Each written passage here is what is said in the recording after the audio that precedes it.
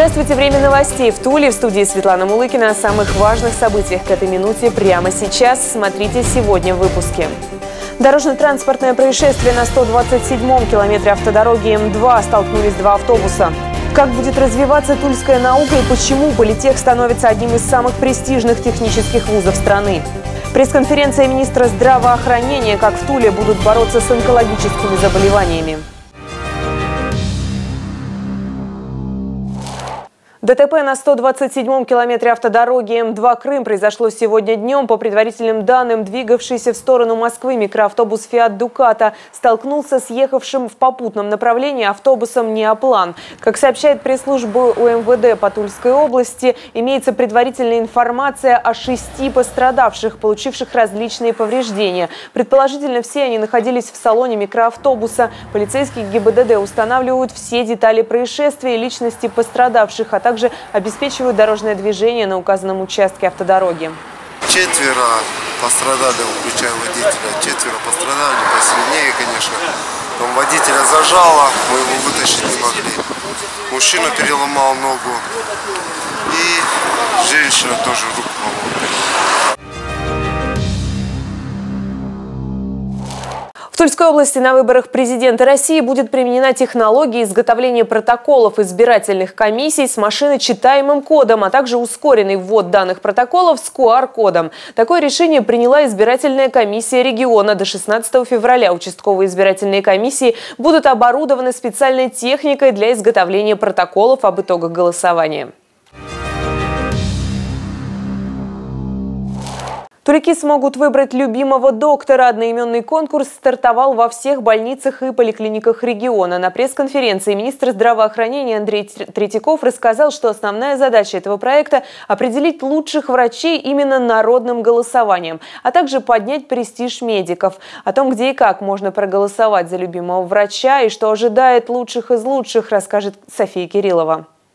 Раннее утро, а в поликлинике номер один Тульской городской больницы уже собрались пациенты. Вот только в этот раз очередь не только в регистратуру. Тулики выбирают любимого доктора. Этот конкурс стартовал в нашем регионе в начале февраля. Проходит он в два этапа. Первый этап у нас будет это амбулаторное звено, и второй этап стационарное звено и врачи-специалисты. Конкурс этот э, рассчитан на широкие слои населения, которые э, могут прийти и э, мало того, что отдать свой голос, отметить каким-то образом положительное качество медицинского работника. Брендированные урны для голосования стоят во всех поликлиниках и больницах области. Достаточно просто написать на бюллетене имя и фамилию любимого доктора и указать место его работы. Понятно, что пациент будет оценивать э, доктора по его и личным, и профессиональным качествам.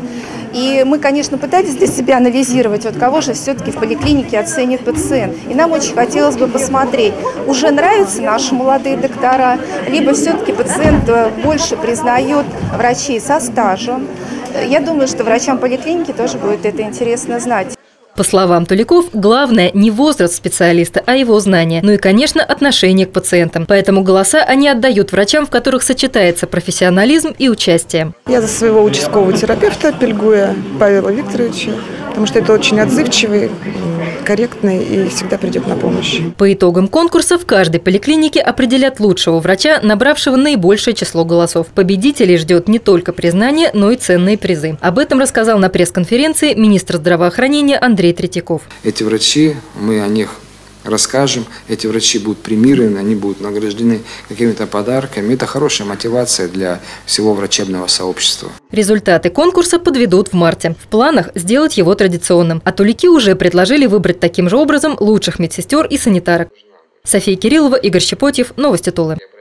Также Андрей Третьяков рассказал о том, что в текущем году много внимания будет уделено борьбе с онкологическими заболеваниями. Показатели смертности, к сожалению, остаются по-прежнему высокими. Количество заболевших увеличивается. Но это связано в основном с улучшением диагностики. Теперь онкозаболевания можно обнаружить на, ранних, на ранних стадиях, что, конечно, значительно улучшает прогнозы на выздоровление. Проект «Онкостоп» подразумевает централизированную онкологическую службу в регионе регионе и создание современного многопрофильного медицинского центра. Фактически в одном учреждении будут собраны специалисты и созданы все условия для лечения онкологических заболеваний, в том числе самые совершенные методы лучевой и радиотерапии. Данное учреждение предназначено для оказания медицинской помощи пациентам с онкологическими заболеваниями с использованием наиболее современных аппаратных средств и современного медицинского оборудования. За счет совершенствования организации и качества оказания медицинской помощи данный проект позволит достичь значительного снижения показателей смертности от онкологических заболеваний. Как будет развиваться тульская наука и почему политех становится одним из самых престижных технических вузов страны? Алексей Дюмин возглавил попечительский совет ТулГУ и провел его первое заседание. С руководителями ведущих предприятий и работодателей губернатор обсудил планы и задачи развития вуза, получившего престижное звание «Опорный». В ВУЗе с гордым статусом «опорный» готовят высококвалифицированные кадры, востребованные в конкретном регионе. Работу ТулГУ курирует новый орган – попечительский совет во главе с губернатором. Его участники – руководители ведущих тульских предприятий и представители бизнес-сообществ. Первое собрание попечительского совета состоялось в инновационно-технологическом центре ТулГУ. Ходили, посмотрели, э, что происходит, какие процессы происходят. Я Грязеву сказал, что Михаил Васильевич, мы сами здесь немножко дали э, маху. На самом деле Тульский государственный университет опорным вузом должен был стать еще намного раньше, чем год назад. Поэтому, ну, что есть, то есть, и поэтому мы этим гордимся, что он стал опорным вузом. Это, конечно, расширяет тот потенциал. На выставке разработок в рамках реализации программы развития опорного университета студенты представили свои проекты. Здесь и высокоточный магнитомет, и навигационная система для летательных аппаратов. Студенты четвертого курса участвуют в разработке рассыпной облегченной пулеметной ленты. Сделана она из композитных материалов, легче обычно металлической в три раза и дешевле в четыре раза. Тема актуальная и современная, особенно в рамках проекта «Композитная долина», будущей особой экономической зоны в Тульской области для э, различных подразделений, которые длительные автономные рейды уходят, либо для э, боевых машин роботов. Смысл ленты в том, что отстрелив один патрон, звено удаляется в пределы автоматики, то есть не болтает э, вся такая вот штука. Обычно по 25 или 50 патронов.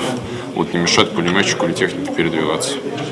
Губернатор на выставке побывал, также посетил инжиниринговый центр комплекса. Своими глазами посмотрел аналоги станков, которые используются на многих оборонных и машиностроительных предприятиях.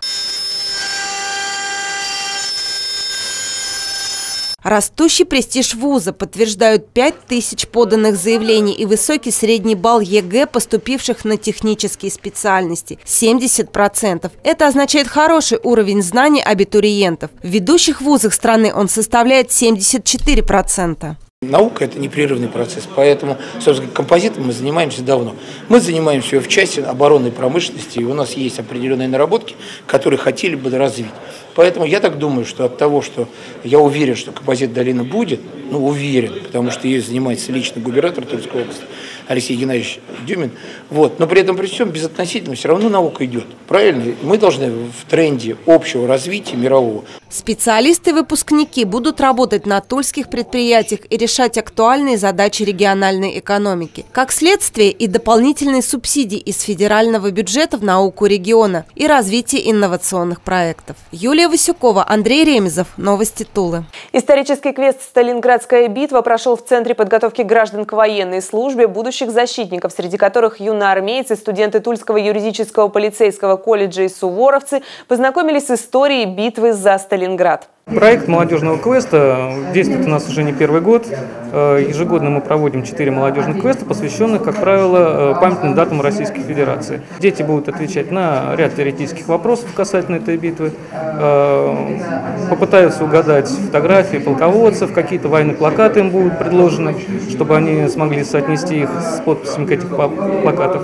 Бизнес-климат в регионе нуждается в улучшении. Губернатор Тульской области Алексей Дюмин провел накануне встречу с представителями деловых объединений. Предприниматели выступили с инициативой доработки механизмов противодействия незаконному предпринимательству. Илья Логинов продолжит тему. Дан старт новому формату общения между бизнесменами и властью. Теперь все деловые вопросы решаются за круглым столом, а повестку обсуждения формируют сами предприниматели. Лейтмотивами первого обсуждения стали материнство, детство, спорт. Председатель Тульского отделения деловой России Андрей Мазов предложил предусмотреть региональным законодательством поддержку женщинам, которые до окончания декретного отпуска вышли на работу, вне зависимости от количества детей в семье, например, в виде дополнительных нескольких дней оплачиваемого отпуска. Мы все-таки бизнес-объединение, и нам бы, конечно, хотелось, чтобы э, оплачиваемый отпуск как-то а, ну, софинансировался, например, работодателем и бюджетом. Предложение заслуживает дополнительной проработки совместной. Поэтому, а, естественно, принято к исполнению поручения Алексея Геннадьевича. Мы вместе просчитаем, промониторим. Зашла речь и о развитии спортивной инфраструктуры. Руководитель частного спортивного клуба «Левша» Павел Сорокодумов рассказал, что хотел на льготных условиях взять футбольное поле, восстановить его и в дальнейшем заниматься на нем с детьми. Но никаких привилегий предприниматель не получил. От задумки пришлось отказаться. Мы как бы готовы с нашей стороны. И на это футбольное поле, которое мы хотим сделать, э, пригласить туда детские юношеские спортивные школы, которые безвозмездно бы занимались, э, но посчитали, что вот еще арендной платы мы просто этот бизнес будет нерентабельным. Давайте этот вопрос мы тоже изучим, посмотрим и может быть, как пилотный такой проект с вашей школы и начнем. Еще одной инициативой в области материнства и детства стало развитие негосударственных дошкольных учреждений. По задумке, с появлением частных детских садов должна решиться проблема очередности, в которой сейчас числится более двух с половиной тысяч детей Тульской области. У родителей появится возможность, получив сертификат на несколько тысяч рублей, отдать ребенка в коммерческое дошкольное учреждение. Групп дневного времяпровождения много, но на самом деле они находятся э, в квартирах, и либо мы их вырастим в некие э, ясли более серьезного уровня, либо, ну, давайте честно, они не соответствуют ни пожарным нормам, ни нормам Роспотребнадзора. Это затрагивает не только ясли, но и еще другие ряд социально важных объектов, где есть, есть э, люди, предприниматели, которые готовы развивать и другие социально значимые объекты на, территории, на нашей территории. Поэтому точку попадать. На проработку поставленных вопросов губернатор отвел месяц и отметил, что теперь встречи с деловыми объединениями будут проходить регулярно. Илья Логинов, Игорь Щепотьев, Новости Тулы. Это все, что мы успели рассказать к этой минуте. Больше новостей ищите на сайте tsn24.ru. Узнавайте о самых главных событиях Тулы области вместе с нами.